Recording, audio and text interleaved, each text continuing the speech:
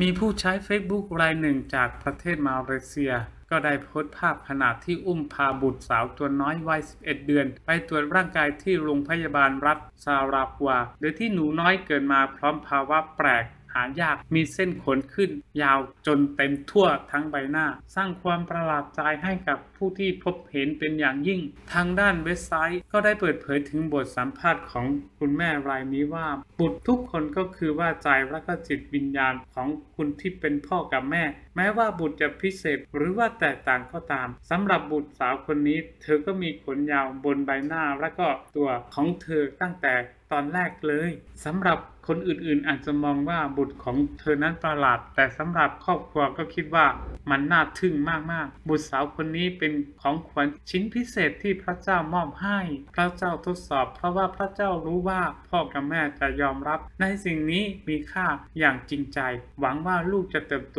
ขึ้นมาอย่างเข้มแข็ง พร้อมกับเผชิญหน้ากับโลก และก็ผู้คนมากมายหลากหลายแบบที่ต้องพบเจอ ขอให้เธอแข็งแรงทั้งร่างกายและก็จิตใจ แม้ว่าใบหน้าของเธอจะถูกปกคลุมไปด้วยผม แต่ก็ไม่สามารถทำลายความรักของเรากับเธอได้ภายหลังจากที่โพสต์ของคุณแม่ถูกเผยแพร่ออกไปเพียงแค่ไม่กี่ชั่วโมง ก็ได้รับความสนใจอย่างรวดเร็ว ถูกแชร์ไปมากกว่า 7,000 ครั้ง รวมไปถึงใน TikTok คลิปวิดีโอของหนูน้อยก็มีผู้เข้ามาดูมากกว่า 6.4 ล้านครั้ง โดยที่ผู้คนส่วนใหญ่ต่างก็พากันเข้ามาคอมเมนต์เชิญบวกมากมาย ทั้งให้กำลังใจและก็อวยพรให้หนูน้อยมีสุขภาพที่ดี